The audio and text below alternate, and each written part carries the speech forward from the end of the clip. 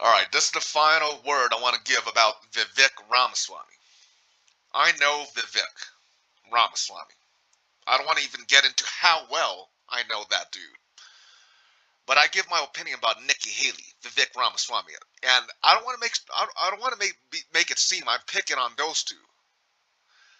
It's everybody, the whole bunch. Listen, listen. It's just that basically they had this little duel, little entanglement. They're talking, they're trying to outcompete each other. Who's the bigger supporter of Israel?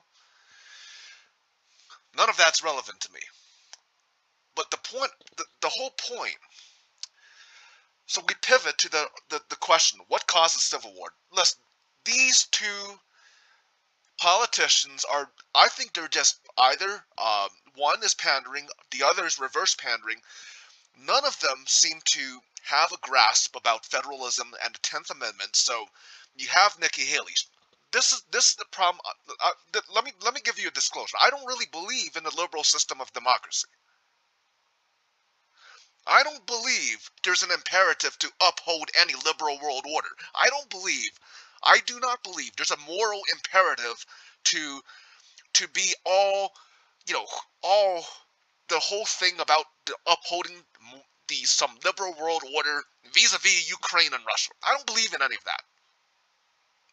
I don't believe in any of that.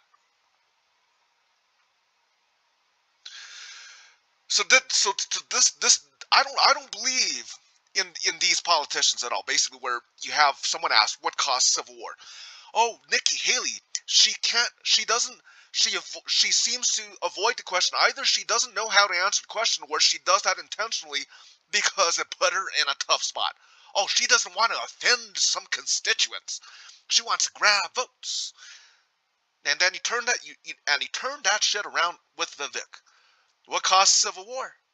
I think he's I think the dude is reverse pandering. None of them talked about the 10th Amendment. Questions about uh, what I talked about is how listen, you want to do you want to be European Union or do you want to be do you want to be a loose confederation like the European Union or do you want to be some centralized state, unitary centralized state under one big leader like China? What's it going to be? What's it going to be? But the cause of the Civil War, it's a good it's a it's a good example how when these politicians, these talking heads, they will pander. They don't actually discuss substantive issues. They are like YouTubers who need, who want, or want to generate. They're they are like social media. I don't want to just pick on YouTube, TikTok, YouTube, the whole bunch. They are like, like I said, disclosure. I don't believe in liberal democracy.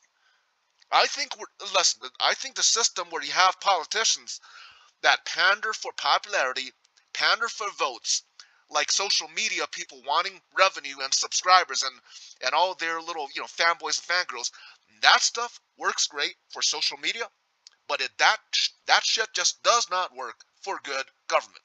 So I, I just want to I don't I don't want to offer you any solutions. I don't want to I don't want to interfere with the process. I don't want to interfere with the process but to me you're Nikki Haley your beloved Vivek Ramaswamy they're just pandering politicians I don't have a solution for you, but I but I do want to point out my opinion. I think they're all pandering politicians. That's it.